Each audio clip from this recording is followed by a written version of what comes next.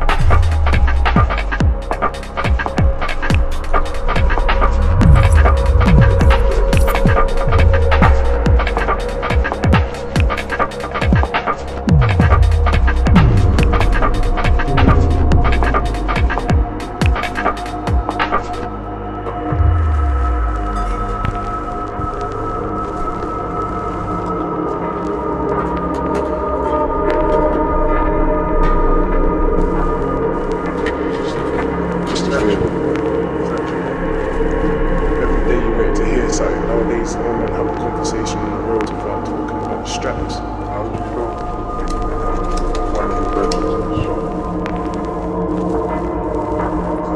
close to me. It's right. Uh, to tell you the truth, I don't want to think about them things because that makes you realise that's how it is nowadays.